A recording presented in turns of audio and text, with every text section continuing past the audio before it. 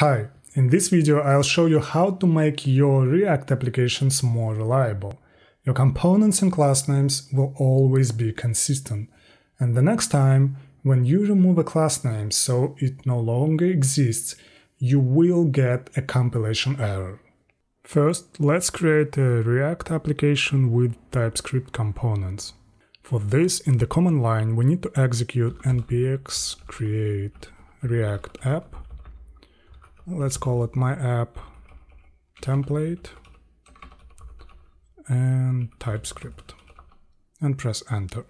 Next we go to the app folder, cd my app and execute the command npm run start to make sure that the application works. Now if we open the app tsx component we see import app.css.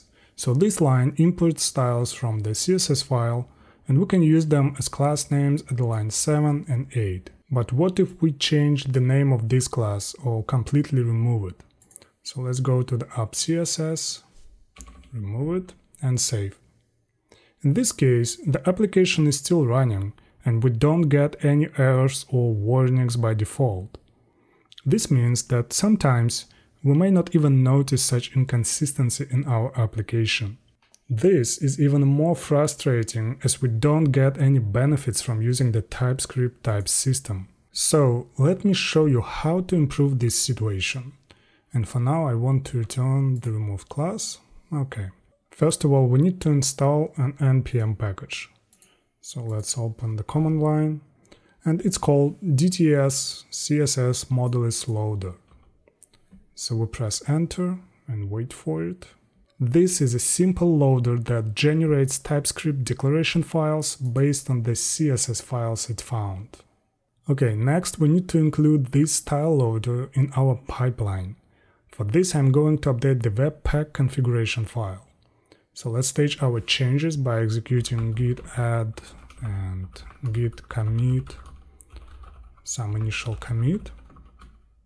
Okay, now we can run the npm run eject command, which allows us to update the configuration files. So we click yes, it's running, and you see that we have the configuration folder. Next, in the webpack.config.js, we find the configuration section like CSS regex. Here we go.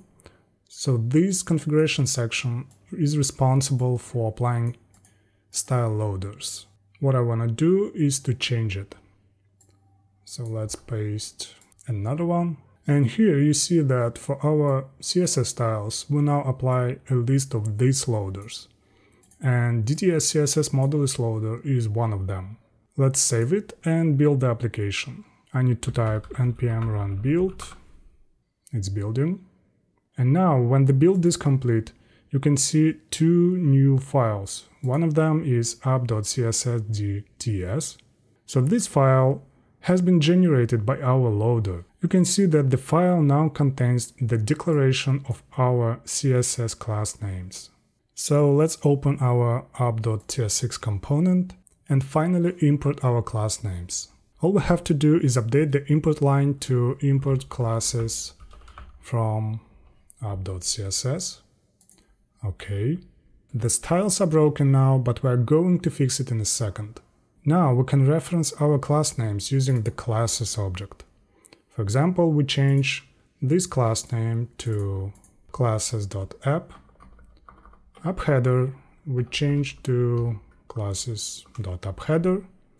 App logo we also change to classes app logo. And we also have the app link. Here we go. Let's restart the application. And now if I refresh it, we can see that it works as before. But what if we change the class name or completely remove it? Let's name it header fake, save it, and restart the application again. And from now on, in case of any inconsistency with our styles, we will receive an error message in the Visual Studio Code like app header does not exist on type. Also, there is one problem is shown at the problems tab And finally, if you refresh your application, you can see the fail to compile message. In my opinion, this approach is extremely helpful and absolutely a must for any large React application. And that's all for today. I hope this approach will make your React applications more solid and you save a lot of time.